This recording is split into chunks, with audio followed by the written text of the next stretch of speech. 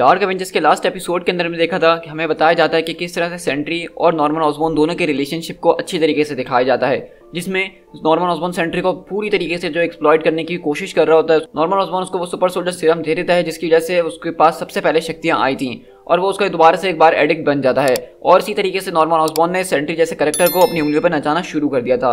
लेकिन ये कहानी ज़्यादा देर तक नहीं चली, जैसा कि हमने देखा ही कि सीज के मेन इवेंट के अंदर किस तरह से सेंट्री अपना आपा खो बैठता है और मुकम्मल तौर पर वॉइड के अंदर ट्रांसफॉर्म हो जाता है। तो बेसिकली आज के इस एपिसोड के अंदर हम देखेंगे कि सीज के मेन इवेंट के बाद डार्क एवेंजर्स की सीरीज़ और उनके लोगों के साथ क्या क्या चल रहा है तो ये टाइन एक बहुत इंपॉर्टेंट रोल प्ले करने वाली है, बाकी की डार्क एवेंजर्स की टीम को आपके साथ समझाने के लिए तो अब आगे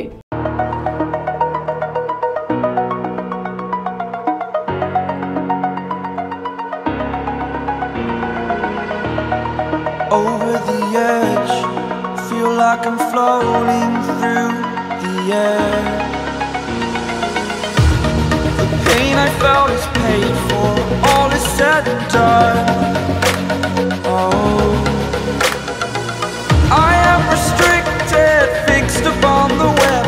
I need to kick the habit that my mind is breathing in.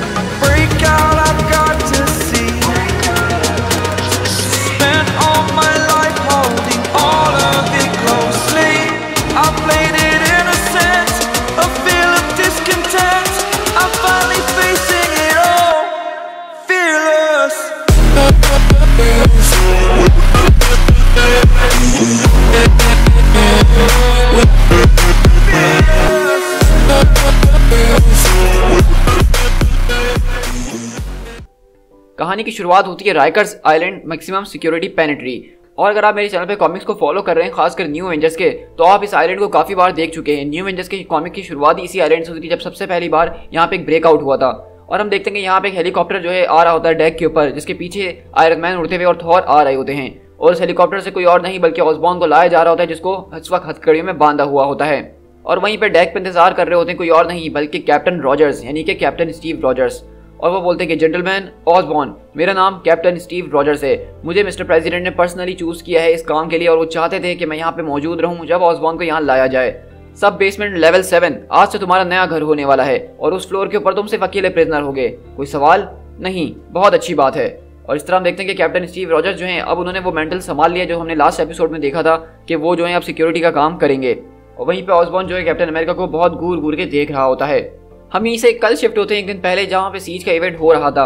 और ये वही मोमेंट है जो हमने सीज नंबर फोर में देखा था, जहाँ निक फ्यूरी बोलते हैं कि अपने अपने हाथ सर के पीछे कर लो। अब तुम लोग वॉर क्रिमिनल्स बन चुके हो ऑफिशियली अगर तुमने किसी ने भी हिलने की कोशिश करी तो हमें गोली मारने का आदेश है। लेकिन यहीं से विक्टोरिया हैंड बोलती है हाँ हम इस बारे में देख लेंगे निक फ्यूरी कि तुम क्या करते हो। हाँ शर्त लगा के कहता हूँ कि तुम लोग देख ही लोगे। लेकिन वहीं से विक्टोरिया हैंड बोलती है कि मैं सिर्फ़ अपनी कंट्री को सर्व कर रही थी, जैसा यहाँ पे हर कोई एक इंसान कर रहा है। लेकिन वहीं से वो लोग बोलते हैं, मेरे ख्याल से कभी कभी तुम्हें पता होना चाहिए कि कब तुम्हें अपना मुँह बंद करके रखना है। लेकिन वहीं से हम देखते हैं कि कैप्टन अमेरिका ऑसबॉर्न को यहाँ पे मारते हुए ला रहे होते हैं और कहते हैं कि मैं चाहता हूँ कि तुम सब मुझसे इस बात का प्रॉमिस करो कि इसने जो क्राइम्स करे हैं, उसको इसकी कीमत चुकानी होगी। वो भी अमेरिकन कोर्ट के अंदर। ये अपनी कीमत चुकाएगा और उसके बाद जेल भी जाएगा। और इस तरह विक्टोरिया देख रही होती है ऑसबॉर्न की क्या हालत हो गई है। और मिस मार्वल भी यहाँ पे देख रही होती हैं।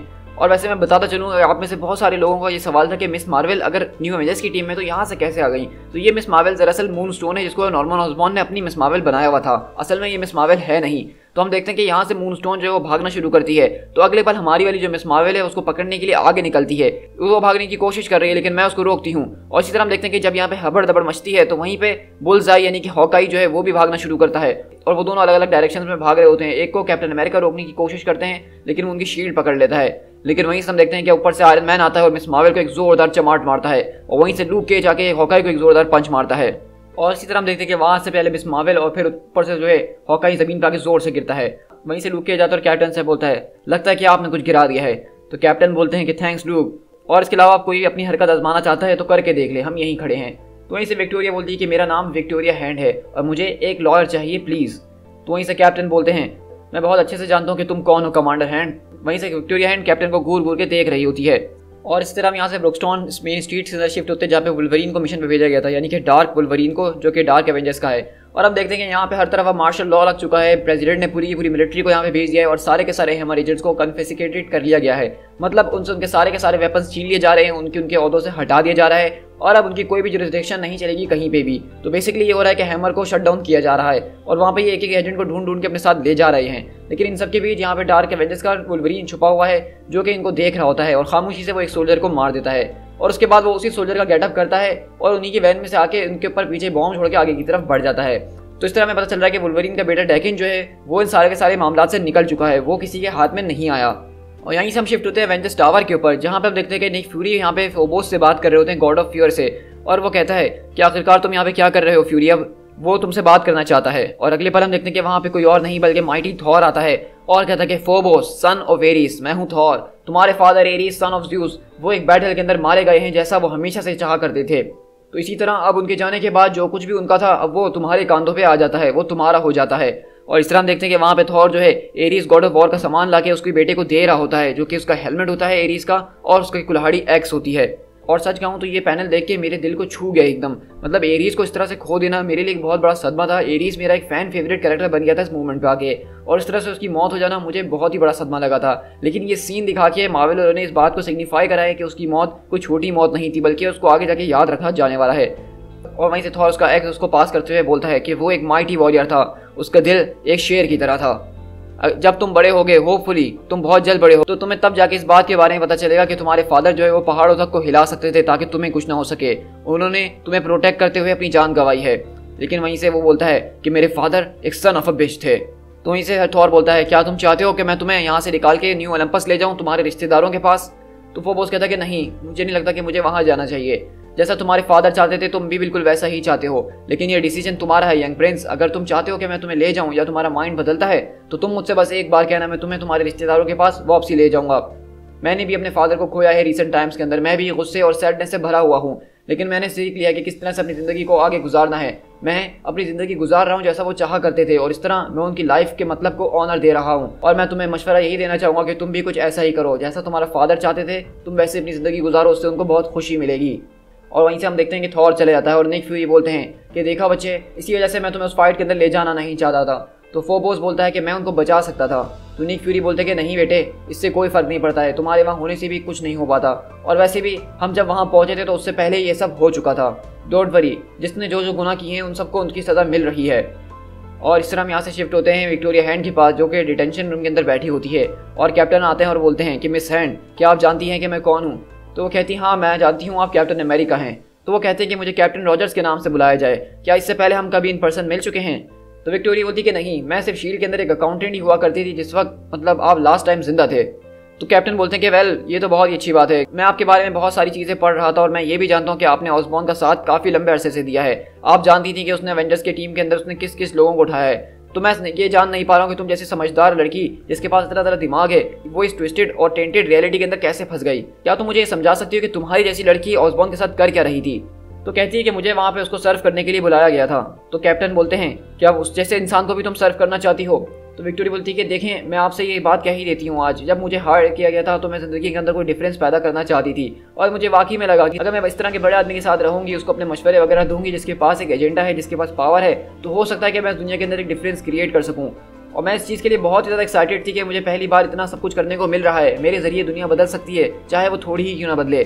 सोच तुम्हारी अच्छी थी, लेकिन इनफैक्ट तुम्हें वो मिला नहीं, क्योंकि वो एक टोटली पागल इंसान था, और साथ में वो सेंट्री भी।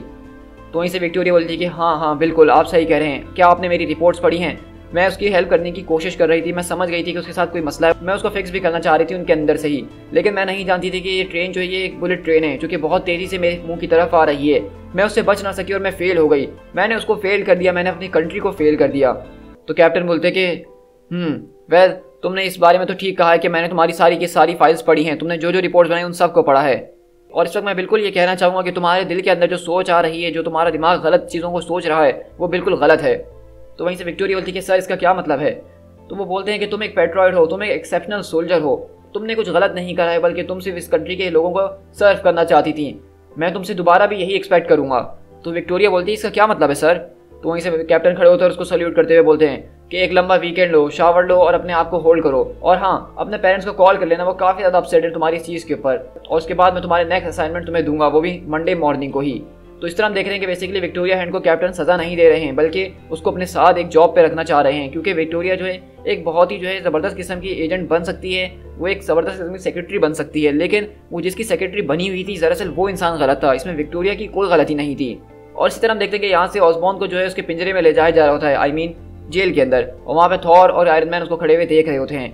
वहीं से ऑसबॉन को आवाज़ आती है कि, वेल, मैं ये बात तो ज़रूर कहूँगा ऑसबॉन कि तुम्हें सारा की सारी चीज़ का क्रेडिट मिलता ही है। मतलब जब तुम चीज़ों को बिगाड़ने का सोचते हो तो चीज़ें बहुत बुरी तरीके से बिगड़ जाती हैं।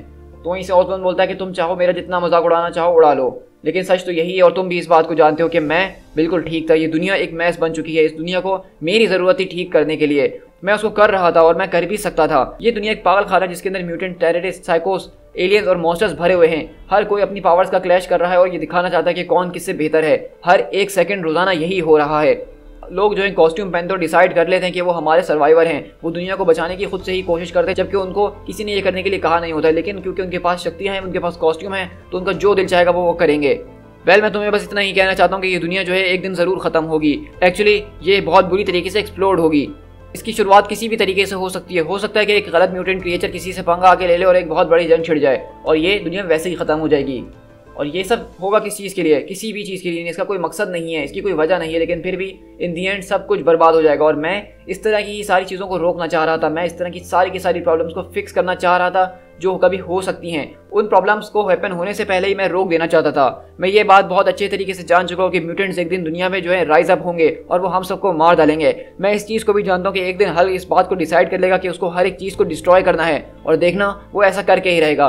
मैं इस बात को भी जानता हूँ कि पनीशर एक दिन जो है किसी गलत इंसान को मार देगा, जिसके ज़रिए एक चेन ऑफ़ इवेंट शुरू हो जाएगा और वो न्यूक्लियर इवेंट को ट्रिगर कर देगा।